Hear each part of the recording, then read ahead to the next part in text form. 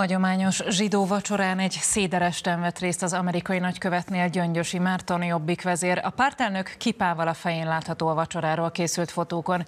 Gyöngyösi Márton volt az a jobbikos politikus, aki egy 2012-es parlamenti felszólalásában listázta volna a zsidó származású vagy kötődésű kormánytagokat. A politikus ma reggel az M1 vendége volt, azt mondta, nem szeretne foglalkozni a múlttal.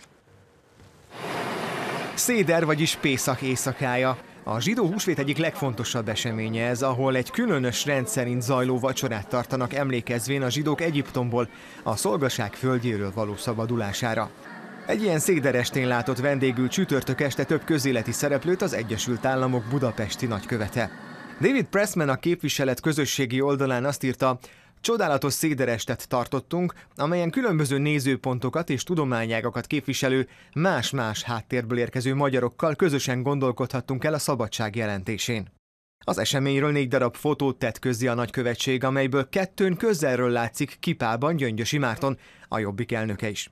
A fényképeken egyrészt Nagy Ervin színésszel, valamint Heiszler Andrással, a Magyarországi Zsidó Hitközségek Szövetségének elnökével látható a Jobbik elnöke hány olyan zsidó származású ember van, aki bizonyos nemzetbiztonsági kockázatot jelent Magyarország számára. Gyöngyösi Márton 2012-ben lett országosan ismert, amikor egy parlamenti felszólalásában a zsidó származású képviselők és kormánytagok listázására szólított fel. Akkor a hazai jobb és baloldal egy közös tüntetésen határolódott el szavaitól. A demonstráción többek között a Fideszes Rogán Antal, a volt szocialista miniszterelnök Bajnai Gordon és az MSZP akkori elnöke Mesterházi Attila is felszólalt.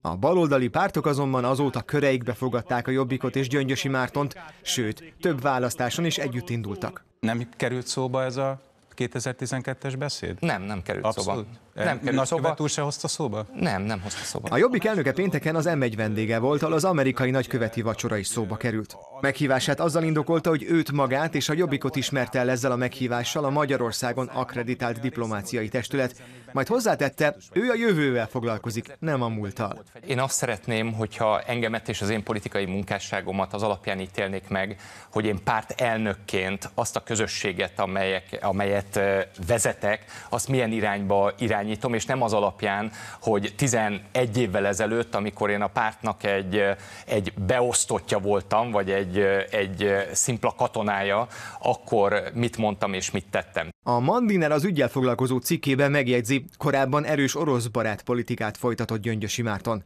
2014-ben választási megfigyelőként például ellátogatott az Európai Unió által el nem ismert Donetszki és Luhanszki népköztársaságokba, amely tevékenységért elmondása szerint ki is tiltották akkor Ukrajnából.